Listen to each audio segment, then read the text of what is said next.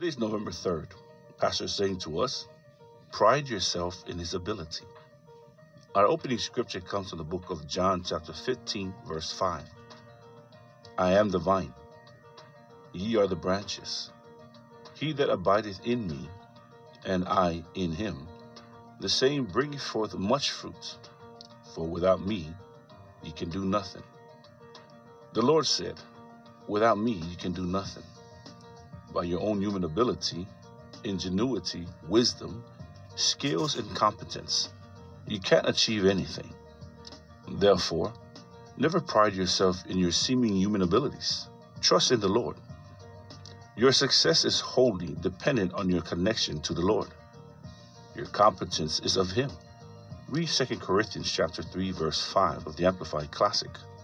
No wonder Paul made his boast in the Lord, saying, I can do all things through Christ, which strengtheneth me. Philippians chapter 4, verse 13. He didn't say, I can do all things because I'm so knowledgeable. No, it's about Christ and who he is in you, his ministry in and through you. It brings to mind the story of Asa in 2 Chronicles chapter 14. The Bible tells us Judah was invaded by an army of a million men and 300 chariots. King Asa and his army were completely outnumbered.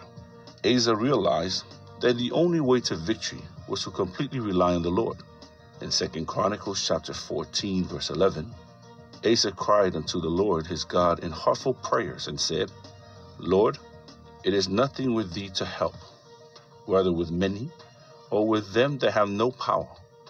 Help us, O Lord our God, for we rest on thee, and in thy name we go against this multitude. O Lord, Thou art our God. Let no man prevail against thee. The Lord responded and gave Judah a remarkable victory. So the Lord smote the Ethiopians before Asa and before Judah, and the Ethiopians fled. 2 Chronicles chapter 14, verse 12. Now, here's something to notice about Asa. He didn't sit idly by thinking, whatever will be, will be. He took action. Your step of faith is important. Having prayed, Asa and his army charged against the enemy forces and got the victory. Hallelujah. Please say this prayer with me.